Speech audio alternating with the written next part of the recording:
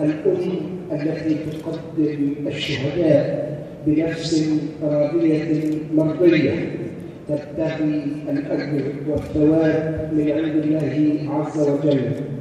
الأم التي تربي وتعلم وتسهر وتعطي كل ما لديها لأبنائها. المبدعين والأمهات المكرمات أهلا بكم جميعا في جامعة القاهرة في هذه الاحتفالية المتميزة التي نحتفل بها فيها تقوى الوفاء والعطاء.